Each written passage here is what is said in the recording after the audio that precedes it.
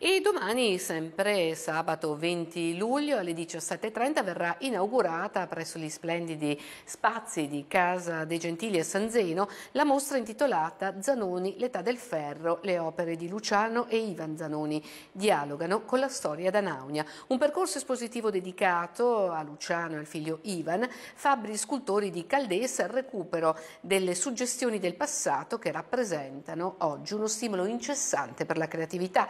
Il Centro Culturale Danaunio inaugura la propria annuale attività proprio con una mostra che indaga il fervore di due artisti che da sempre umilmente amano definirsi artigiani del ferro.